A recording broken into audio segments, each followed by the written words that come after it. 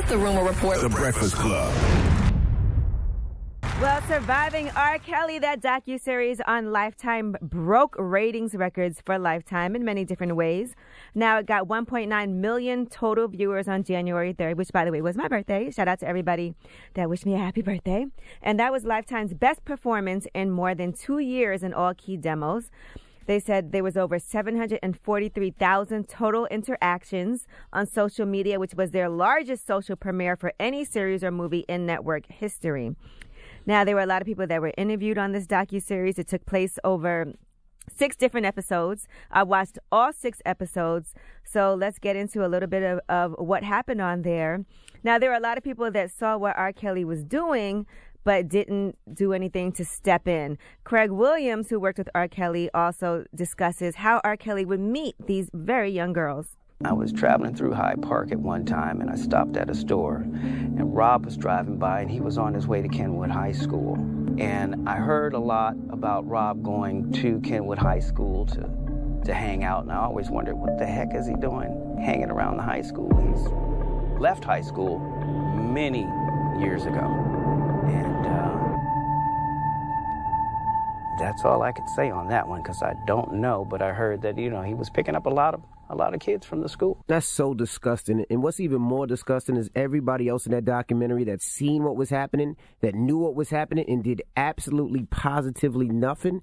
All of you up mother effers are disgusting. Now, they also, in this documentary, talked about how he would target these young women. He would go to the mall, he would go to the schools, and he would whoever made eye contact with him or gave him a little smile, those are the people he would target. Even his security would go over, give the girl his number. He would stay in contact. And a lot of people I saw on social media were blaming other people for R. Kelly's behavior. But the thing is that he was an adult. He knew what he was doing was wrong. He was trying to cover things up. He was forging documents. All kinds of things were going on with him. And the people around him were, yes, enabling him. But you cannot blame these young girls who were the victims. And even if they weren't young girls, if you watch the docu series, you can see they had all kinds of specialists and psychologists psychologists on there discussing what R. Kelly was doing mentally to these young women. Very abusive mentally, and he was physically abusive as well, according to the women who were interviewed in this docu series. One in particular scene that had a lot of people talking on social media that was heartbreaking was watching a mom who was trying to save her daughter Dominique from R. Kelly's hotel. My plan is just to go into the hotel. I know she's there. God didn't leave me here and then take it away. I came too close. Come on, we leaving? Come on. It's okay, baby. It's okay. Such an effing predator, and I mean, he played. He played on weakness. He played on the fact that these girls wanted to be stars, and he knew what he was doing. I mean, he was R. Kelly for a lot of these young girls, and there's all kinds of studies that show Mm-mm-mm. how your brain develops and how you make decisions. As a young girl, he used, uh, with these young girls, he used his position, he used his fame to draw them and lure them in, and then he would slowly, little by little, do certain things like, all right, call, call me, daddy, daddy, in the bedroom. Then it was call me daddy outside of the bedroom. Then it was okay, you have to ask permission to use the bathroom.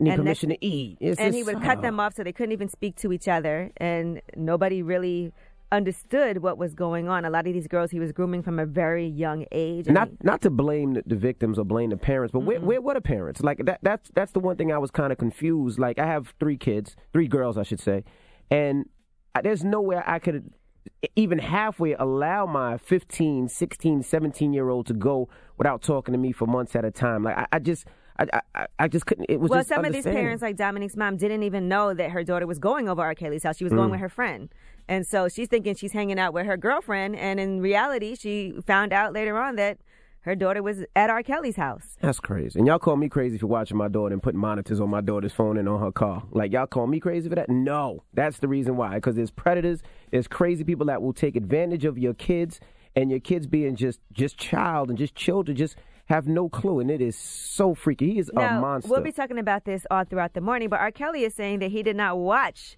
the Lifetime show at all, just like he said he didn't watch the sex tape um, when he was in court.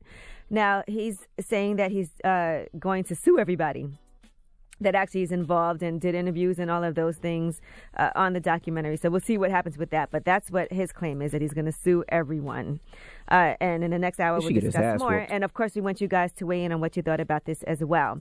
Now, in other news, LeToya Luckett and Tommicus Walker, congratulations to them. They just had their daughter. So congratulations. Congrats to Baby them. Baby Gianna is Luckett's first child and Walker's second. Um, and Kim Kardashian and Kanye West, according to People magazine, are expecting their fourth child via surrogate. So that's the plan for them. They've been talking about this for quite some time. They already have Chicago, who's one, Saint, who's three, and North, who's five and a half. Mm-hmm. So once again, another baby. Congratulations to them. But we'll talk more about Kanye West uh, later on. I'm Angela Yee, and that's your rumor report.